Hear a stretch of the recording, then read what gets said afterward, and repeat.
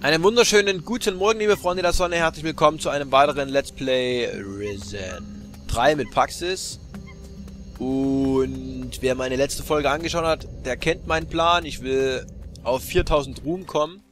Wir haben momentan 3750, das heißt, uns fehlen ja nur noch 250. Dann können wir nämlich eine Truhe öffnen. Und nachdem wir dann die Truhe geöffnet haben, ist denn Bones? Bones?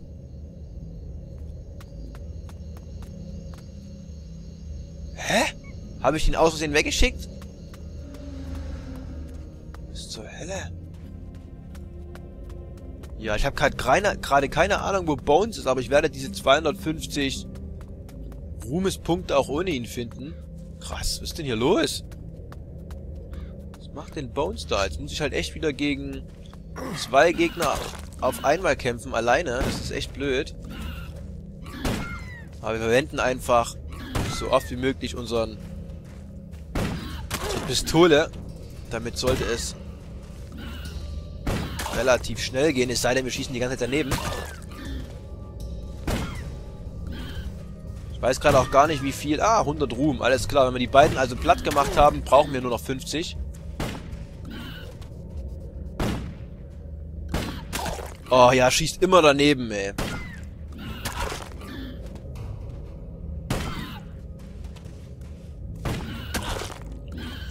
Okay, okay, und jetzt aber. Komm, mach ihn platt. Mach ihn platt! Du sollst ihn. Du sollst ihn. Du sollst ihn. Du sollst ihn platt machen. Troppen noch nicht mal was. Undankbaren Kreaturen. Vielleicht haben wir hier noch irgendwo eine Truhe rumstehen. Ich weiß gerade gar nicht. Ich glaube, hier war dieser Schatz verbuddelt, oder? Ja. Okay. Dann haben wir die Truhe logischerweise schon aufgemacht, weil verbuddelte Schätze sind immer nicht verschlossen. Maki-Beere. Wie wir halt echt schon tausend solche Sachen gefunden haben und noch nichts hergestellt. Hinten eine Truhe versteckt? Nee. Ach ja, aber... Ah, hier ist eine Truhe. Sehr schön.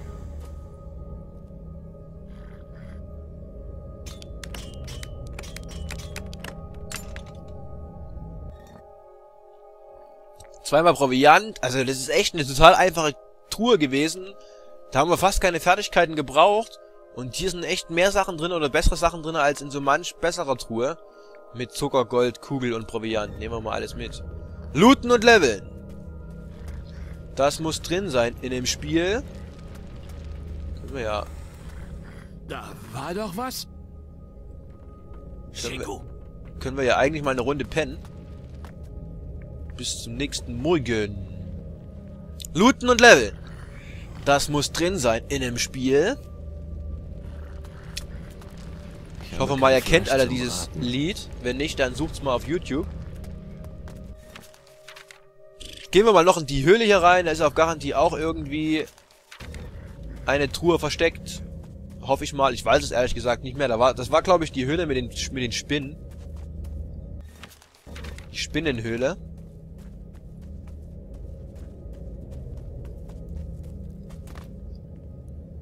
Ja, das war die Spinnenhöhle. Ach ja, genau. Und da oben war da, war da glaube ich, diese Truhe, wo wir, hinfl wo wir, hinfliegen müssten, mussten als... War da eine Truhe? Nee, ne? Weiß gerade nicht mehr. Da muss man da hinfliegen als Papagei. Ach nee, da lagen einfach so die Sachen rum. Alles klar. Okay, dann können wir jetzt eigentlich zurückfliegen. Also teleportieren, nicht fliegen. Teleportieren. Wir waren jetzt an allen prägnanten Stellen. Wir brauchen noch 50 Ruhm. Die bekommen wir auch von so einer Schildkröte, die hier unten rumdampert. Deswegen Ach, da ist Bones jetzt wieder da, oder was? Wo hat er denn gesteckt, verdammt? Komm, ab zum Strand. Wir schlachten noch die Schildkröte ab. Ich möchte die zwar eigentlich nicht umbringen, aber... Das ist das Einzige, was hier Ruhm gibt. Ich weiß gerade gar nicht, ob die 50 Ruhm gibt, aber... 20 nur. Ach, verdammt. Wie schlecht. Ah. Müssen wir eben erstmal einen kleinen Umweg gehen, weil ich weiß, dass hier drüben noch ein paar Sandläufer waren. Oder Sandteufel, oder wie auch immer die hießen. Und die geben auf jeden Fall 50 Ruhm.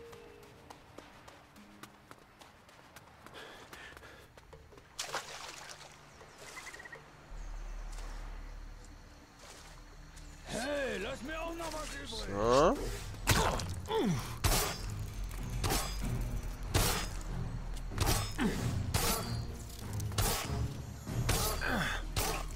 Und dann schauen wir mal. Ich bin schon gespannt, auf welche Insel wir als nächstes gehen. Ach, Bones kommt wieder nicht hinterher, oder was? Was macht denn der Bones schon wieder? Egal, wir nehmen die Muscheln noch mit. Und jetzt nochmal schnell zu der anderen Kiste. Dann haben wir es quasi geschafft. Auf Tagarigua. Ach ja, wir schauen dann logischerweise nochmal ins Logbuch rein. Nicht, dass wir irgendein einfaches Quest übersehen haben.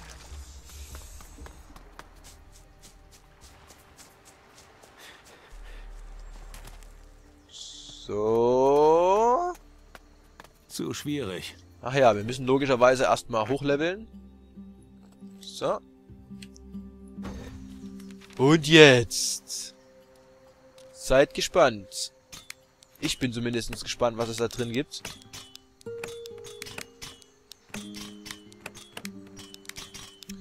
Ach, Mann. So. Das ist die schwierigste Kiste bisher. Wir hatten noch keine 40er-Kiste. Trank der Magie, Verbrauchsgegenstand, Wirkungsdauer. Du spürst förmlich, wie die Magie durch deinen Körper fließt. Ja, aber zaubern tun wir eh noch nicht. Schleichender Tod. Zieht deinem Gegner schleichend Lebensenergie ab. Hm, ja, okay, vielen Dank. Können wir ja zur Not alles verkaufen. So, jetzt teleportieren wir uns wieder zurück zum Strand. Ich glaube, das nächste ist der Jack. Da holen wir uns nochmal ein paar... Uh, er ist gerade. Holen wir noch ein Zeig paar Kugeln.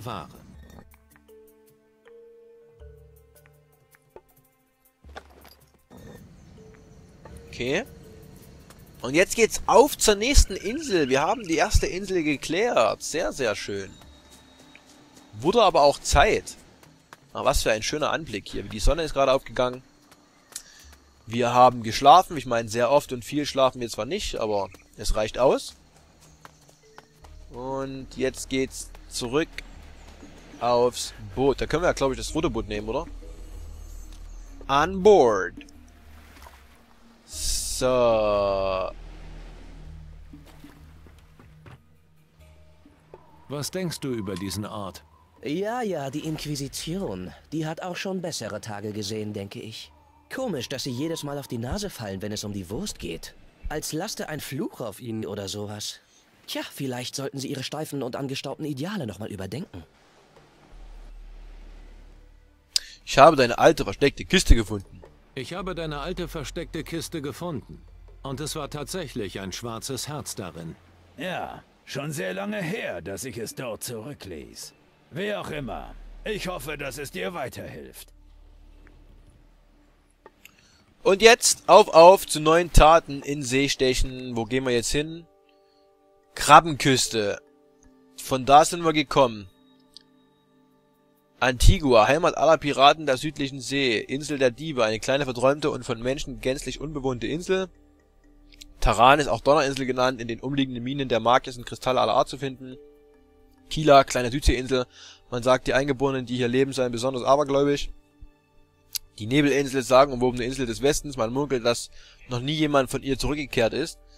Und Kalador, auch Eisenbruch genannt, die Ruinen der dunklen Krieger sind hier auch heute noch zu bewundern.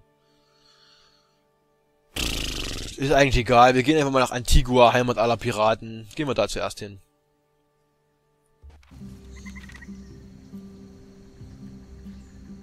Ach so, jetzt habe ich vergessen, ins Logbuch zu schauen. Ach, ich Idiot. Naja, ich schau jetzt gleich nochmal rein. Ich werde wahrscheinlich eh nichts Spannendes drin haben, aber egal. Wächter an Bord. Quest abgebrochen. Die Fuegos Leiche, Horas verraten, abgebrochen. Was, was, was? Naja, was so richtig ich hätte machen müssen mit der Leiche von dem Typ, weiß ich auch nicht, aber egal. Logbuch. Ach so, jetzt haben wir das gar nicht mehr dastehen mit diesen Takarigu. Ach, egal. Jetzt sind wir auf Antigua, der Schatz eines glücklichen Piratens. Auf meiner Karte kann ich den Fund des Schatzes sehen. Müsste ja jetzt irgendwo hier sein. Ja. Ah, anscheinend gibt es immer mal solche Sandbänke, auf die man nicht hinkommt, weil hier kommt man ja wahrscheinlich auch nicht hin. Also insgesamt erstmal und hier auch nicht. Eine ziemlich kleine Insel, oder? Also ich meine, rein vom Gebiet her. Zagi Buggy. Dann hier ein bisschen Wasser, also... Wirkt auf dem ersten Blick erstmal so, als ob wir das schneller forschen könnten. Ach, den Horas-Typ können wir auch mitnehmen, aber ich habe mich so an Bones gewöhnt. Ich nehme Bones mit. Komm mit. Klar. Ich weiß auch gar nicht, was der andere Horas-Typ macht. Bones heilt mich wenigstens mit. Ich glaube, das ist mit am wichtigsten. Row the boat zum Weststrand. Schauen wir uns mal um. Wir nehmen natürlich wie immer die Muscheln mit. Wir nehmen natürlich wie immer die Schädelblüte mit. Und wir nehmen natürlich wie immer die Maki-Beere mit. Die ist sehr, sehr köstlich. Kann ich jedem nur empfehlen. Die Muschel ist auch gut. Da sind manchmal Perlen drin, die viel Geld wert sind. Und Geld, ich bin geldgeil. Gold, Gold, Gold. Wir werden wie Gold sein. Das Lied habe ich erfunden. Und wir werden nur dann wie Gold sein, wenn wir viel Gold haben, das einschmelzen, in eine Badewanne schütten und dann reinsteigen in das Gold. Wenn wir dann aus dieser Wanne wieder rauskommen, dann sind wir komplett Gold überzogen und sind Gold und haben das Ziel des Liedes erreicht. Ja, ich rede gerade ziemlich viel Müll. Oh, wo kommt er denn her? Für den Sandteufel verschwende ich mal keine meiner wertvollen Kugeln. Das tat weh. Aber höchstens dem Sandteufel. Wollte doch einfach nur die Muschel haben. Kann denn das so schwer sein? Liegen aber auch wieder verdächtig viele Knochen rum. Eine sehr böse Insel wahrscheinlich. Mit vielen gefährlichen Kreaturen. Da haben wir auch schon den ersten Kollegen am Lagerfeuer. Grüße. Was geht? Was lag hier? Hey du, sei vorsichtig. Die Insel hier ist gefährlich. Natürlich, es ist ja auch das Hauptquartier der Piraten. Natürlich. Es ist ja auch das Hauptquartier der Piraten. Wohnsitz des berühmt-berüchtigten Piratenadmiral Alvarez. Sicher. Aber ich rede hier von wirklich gefährlichen Dingen. Ja? Wovon genau? Hast du es etwa noch nicht gesehen? Die Brut des Bösen ergießt sich über das Land. Höllenhunde haben die ganze Hafenstadt überrannt. Woher weißt du, dass die Hafenstadt angegriffen wird? Oh mein Gott. Woher weißt du, dass die Hafenstadt angegriffen wird? Ich bin schon einige Tage hier und habe die Stadt beobachtet. Glaub mir, es ist schlimm. Viele sind getötet worden. Viele sind geflohen. Der Weg von hier in die Stadt wird von einigen dieser furchteinflößenden Höllenhunde bewacht. Ich war noch nicht mutig genug, den Kampf gegen sie aufzunehmen. Du bist kein Pirat. Was machst du auf Antigua? Du bist kein Pirat. Was machst du hier auf Antigua? Ich bin ein Wächter. Hüter der Magie und Beschützer der hohen Magier von Taranis. Ich wurde hierher entsandt mit dem Auftrag, möglichst viele magische Kristalle für unsere Sache zu finden. Interessant. Hast du vielleicht... Also, ich würde ja nur zu gerne noch über mich und meine Aufgaben plaudern, aber... Ja? Ich habe noch so viel zu erledigen und weiß gar nicht, wie ich das alles schaffen soll. Begleite mich, ich bringe dich in die Hafenstadt. Ja, ich kann ihm doch helfen, warum nicht? Begleite mich. Ich bringe dich in die Hafenstadt. Aber die Höllenhunde auf dem Weg zur Stadt? Damit werden wir schon fertig. Ähm, sicher? Ja. Verdammt, wir sind komm. zu dritt. Na schön. Aber auf deine Verantwortung. Außerdem sieht er viel krasser aus als ich. Er hat ein viel schöneres Schwert und eine viel schönere Rüstung etc. Was ist denn hier los? Warum liegt denn hier überall roher Fisch rum? Hallo, lass mich doch mal den rohen Fisch einsammeln. Roher Fisch, gut. So, und jetzt können wir den rohen Fisch nämlich auch zubereiten. Es wäre irgendwie cool, wenn es Proviant gäbe, äh, wenn es Nahrung gäbe, die mehr als nur ein einmal Proviant quasi rausspringen lässt. Also wenn ich halt ein großes, fettes Stück Fleisch habe, dann wäre es ja logisch, dass ich dadurch zwei, dreimal Proviant bekomme und nicht nur einmal. Und so ein kleiner Fisch, okay, da gibt's halt nur einmal Proviant, logisch. So, ganz cool, da sind wir jetzt zu dritt, dann sollten die Kämpfe, falls hier irgendwelche kommen, ja noch leichter sein. Ich meine, es gibt ja auch gar keine großen Möglichkeiten hier. Ich meine, wo sollen denn hier diese ganzen Hunde kommen? Müssen ja eigentlich bald mal kommen, also wenn hier irgendein Hund kommen soll. Wir sind ja gleich in der Stadt drin. Außerdem könnte er ja hier rechts lang schwimmen und hätte dann wahrscheinlich gar kein Problem mehr mit Hunden, weil da wahrscheinlich keine sind. Es sei denn, die sind im Wasser. Sind wir eigentlich hier oben drauf? Ne, wahrscheinlich nicht, oder? Ja, muss... Ah, da sind deine Hunde. Alter, weil das sind halt echt nur ganz normale publische Höllenhunde. Die geben 50 Ruhm. Das sind keine ernstzunehmenden Gegner. So, ich gehe mal... Ich hoffe mal, dass ich zu dritt jetzt... Äh, zwei Höllenhunde. Ich soll einfach nur zwei Höllenhunde umbringen und dafür muss ich ihm helfen. Das muss er doch alleine schaffen, Mann. Na egal. Einfache Quests nehme ich genauso mit wie schwere. Kennt mich, breit gebaut, braun gebrannt, 100 Kilo Handelbank. Ah, was ist das? Schlangenwurz. Da haben wir auch direkt wieder was zum Teleportieren. Geht doch. Uh, geheimnisvoll. Ja, wir wissen, was wir damit machen können. Ach, es regnet auch die ganze Zeit, merke ich gerade. Ich mag Regen ja eigentlich, aber dieser schweren Kluft, da ist Regen nicht so angenehm. Das zieht einen schön nach unten. Wo genau möchte er denn jetzt hin? Wir sind doch jetzt in dieser Stadt. Kollege. Ach komm, wir gucken erstmal hier nach oben. Weil ich glaube, hier gibt es gar nichts Richtiges. Richtiges, kein Eingang oder sowas. Schauen wir da erstmal hin. Solange wir den Kollegen noch auf unserer Seite haben, sollten wir auch mal den Friedhof hier erforschen. Oh oh. Modriger Knochen. Das soll ein Friedhof sein. Ich habe Friedhöfe gesehen, die waren viermal so groß. Und dort lagen mindestens vier Personen pro Grabstein im Grab. Das hier ist doch Platzverschwendung. Modriger Knochen ist also irgendein Quest, wo wir fünf modrige Knochen sammeln sollen. Dann passt das ja, dass wir die direkt mitnehmen. Oh, eine Voodoo-Puppe. Hallo, nimm die Voodoo-Puppe mit. Nehmen Sie. Papageienflug.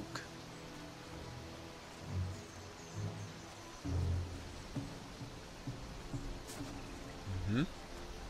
Noch mehr Gräber. Und noch mehr modrige Knochen. Jetzt haben wir es geschafft. Questerfolg.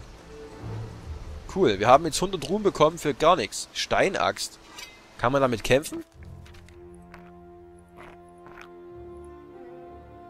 Ja, Tatsache. Oh, die macht sogar 15 bis 50 Schaden.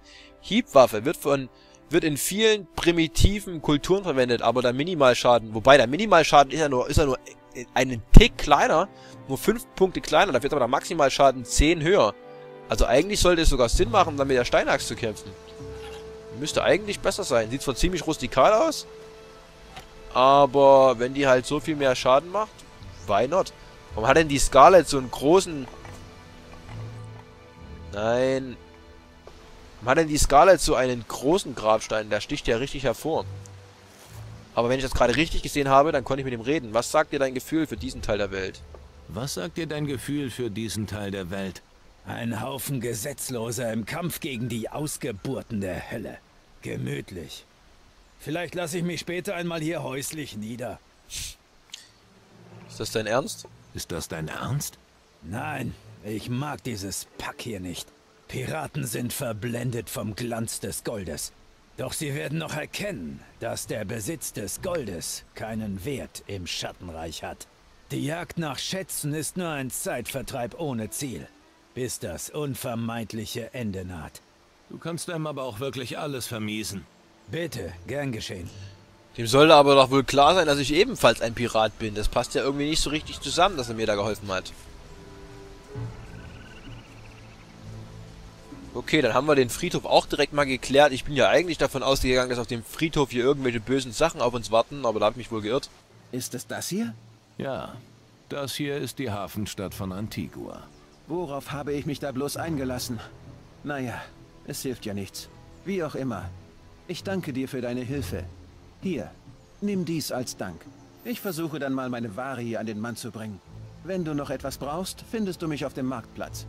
Die wunderschöne Stadt Antigua, wo Jungfrauen verkauft und Piratenlebern der letzte Schluck gegönnt wird. Ich dachte, die Insel heißt Antigua. Die Stadt auch. Das ist Antigua auf Antigua. Äh, frag lieber nicht. Okay. Ja, dann würde ich sagen, schauen wir uns diese Stadt noch mal etwas näher an. Hallo Alvarez. Na endlich, wo bleibst du denn? Ich warte schon seit Tagen. Sorry, ich war zuerst noch auf Takarigua. Ähm, du bist bestimmt der Boss hier, richtig? Freut mich auch, dich zu sehen. Sei froh, dass ich überhaupt noch gekommen bin. Ach ja, du bist bestimmt der Boss hier, richtig? Lass den Unsinn. Wo warst du? Auf Schatzsuche. An der Krabbenküste. Oh, da ist ja ein Gegner. Was zur Hölle hat dabei denn so lange gedauert? Ach, nichts Wesentliches. Ich bin gestorben. Was? Na, ich war tot. Moment mal. Das musst du mir genauer erklären. Am besten wir besprechen alles weitere drinnen. Komm mit. Du musst mir alles ganz genau erzählen. Eine Höhle aus Fels? Nicht Fels. Sie kommt aus den Untiefen der Erde, getrieben von der Macht des Schattenreichs. Was ist da denn los? Der liegt auf der Erde, weil er tot ist oder was? Oder verletzt zumindest. Die Schattenwesen So benutzen geil. diese Portale, um auf die andere Seite zu gelangen. Durch sie erhalten sie ihre Befehle vom Herrn der Unterwelt. Die Höllenhunde. Nicht nur die. Aus den Portalen entsteigen noch weitaus schlimmere Kreaturen. Leider ist das nicht das einzige Problem, das wir haben. Schon seit Wochen legt kein einziges Schiff mehr in unserem Hafen an. Es ist fast so, als ob wir völlig von der Außenwelt abgeschnitten wurden. Wir sahen eine Flotte von Geisterschiffen nicht weit von hier kreuzen. Was sagst du da? Daran kann ich mich gar nicht erinnern. Geisterschiffe? Es ist Crow. Er ist zurück aus dem Schattenreich. Ich habe es geahnt. Der alte Fluch wird uns alle einholen. Hm, komm schon, verschon mich damit. Das ist kein Fluch, es ist ein Angriff. Das ist kein Fluch. Es ist ein Angriff. Wer zur Hölle hat denn so große Macht? Du musst es herausfinden, bevor wir alle untergehen. Ich brauche Proviant und Ausrüstung. Ich brauche Proviant und Ausrüstung. Du weißt genau, was da draußen los ist, mein Junge. Kümmere dich doch erst einmal um die verfluchten Höllenhunde da draußen, bevor sie alle töten. Na schön. Höllenhunde sind genau mein Ding. Am besten du suchst nach den Überlebenden und fragst sie, wo man sie finden kann. Die Biester haben sich fast überall eingenistet. Okay, drei habe ich ja schon umgebracht und vier brauche ich ja noch umbringen. Wie schlimm sind die Verluste durch die Höllenhunde? Was soll ich dir sagen? Ich habe bisher nur die Leiche des Büchsenmachers Donovan unten auf dem großen Platz gesehen. Wer überhaupt noch lebt, kann ich nur vermuten. Am besten du beeilst dich und hilfst ihnen, bevor es sie alle erwischt hat. Ähm, wo soll ich nach den Höllenhunden suchen? Ich habe einige erledigt. Ich habe einige Höllenhunde erledigt. Wo genau? Ich fand einige Höllenhunde auf dem Weg vom Weststrand in die Hafenstadt. Und? Sind sie tot? Selbstverständlich. Wunderbar. Gute Arbeit. Ah, dafür bekommen wir auch schon was. Wo soll ich nach den Höllenhunden suchen? Am Strand im Osten der Stadt kämpft Emma mit den Biestern. In Flints Lagerhaus würde ich nachsehen. Und auch auf dem Blutschwurplatz, wo Zack im Moment Patrouille läuft. Schau auch mal auf dem Marktplatz und bei Grace in der Schmiede vorbei. Naja, und auf dem Weg in die Stadt vom Weststrand her habe ich auch ein paar Biester gesehen. Also im Endeffekt überall. Gut, dann würde ich sagen, machen wir erstmal einen Cut. Liken, kommentieren, abonnieren, wenn es euch gefallen hat. Ansonsten Daumen nach oben, damit man euch loben. Bis zum nächsten Mal, euer Paxis. Tschüss, tschüss.